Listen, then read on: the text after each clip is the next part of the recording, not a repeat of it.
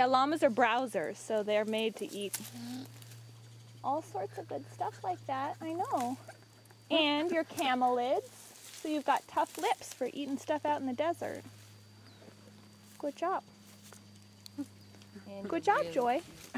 She's like, what are you, what are you saying? Hi, gorgeous. I love Yes, you're a beautiful girl. Look at those spots. And your pom-pom tail. Mm-hmm. You're beautiful. And you're a good little worker. She's a good little worker. Mm-hmm. She's eating those blackberries. Thank you. Now we don't have to trim them.